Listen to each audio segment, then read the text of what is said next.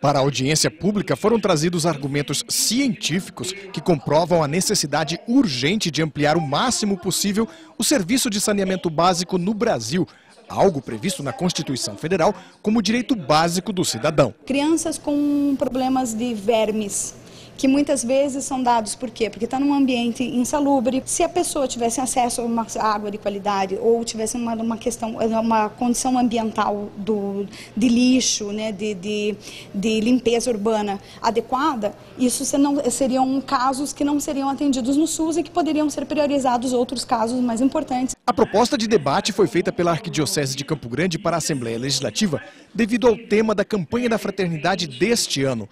Mas como o assunto é prerrogativa do Poder Municipal, a Câmara de Vereadores também foi chamada e a conclusão e encaminhamentos serão comuns para as duas casas, respeitando as abrangências das duas esferas do Legislativo. Mas sempre com a preocupação dos impactos sociais da falta de saneamento básico. Nós sabemos que quem mais sofre são as populações mais pobres, até porque é, a, a, o centro da cidade é bem assistido, em rede de água, em rede de esgoto, em coleta de lixo. As recentes ações de combate aos vetores da dengue, chikungunya, zika e até leishmaniose também foram lembradas.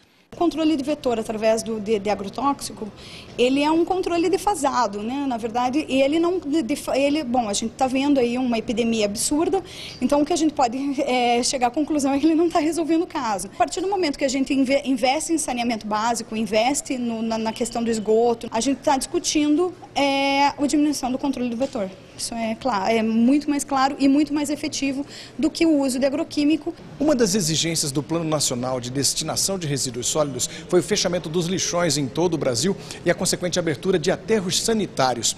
Aqui em Campo Grande, o lixão foi fechado no dia 28 de fevereiro deste ano, mas ao invés de resolver um problema sanitário, o que aconteceu foi o início de um novo problema, desta vez social. Desde que o lixão foi fechado, foram muitos protestos e conflitos entre os trabalhadores que vivem da reciclagem. Eles defenderam a importância do trabalho que desenvolvem para todo o processo sanitário da cidade.